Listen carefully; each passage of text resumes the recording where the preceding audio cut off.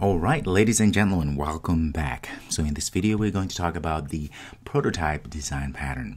Okay, as usual, let's uh, start off with uh, better motivation and explanation as we always do.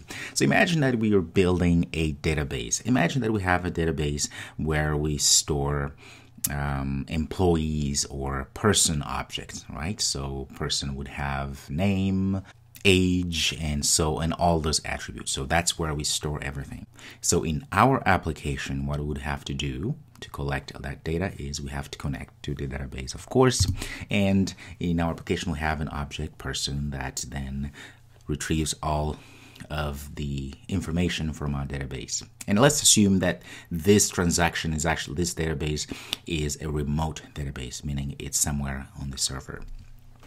So technically what we do? We create a new person, for instance, to create a new instance of a person object which will contain the information from the database, right, for that particular person. And if we want another person, we create another new person in code, right? So creating an object. Each time we need that information, we create an object.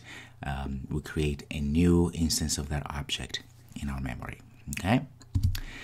Now, as we know already, object creation is very expensive, right? And if and whenever we can, we should not be creating objects because that can bog down our memory and it's not very efficient.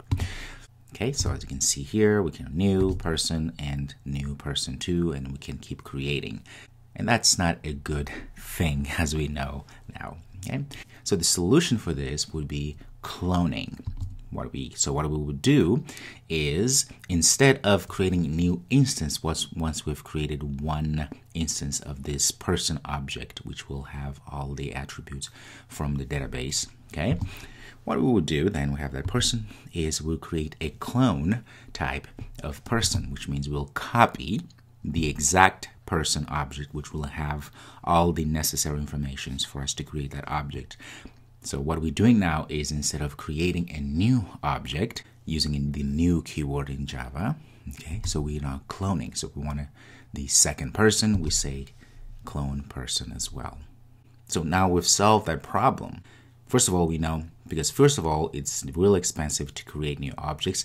On top of that, this transaction between our application and the, the database in our remote database, it's a very expensive transaction. So we have literally killed two birds with one stone. Well, not real birds, but you get it. Okay, so we've solved our problem here. So this is what we call prototype design pattern. So what this does is that it creates creates an instance of a given class when the general creation or the obvious or normal creation uh, is expensive or complicated process. Whenever we find ourselves in those situations where the creation of the instance of a class is actually expensive, then we would be better off using the prototype design pattern.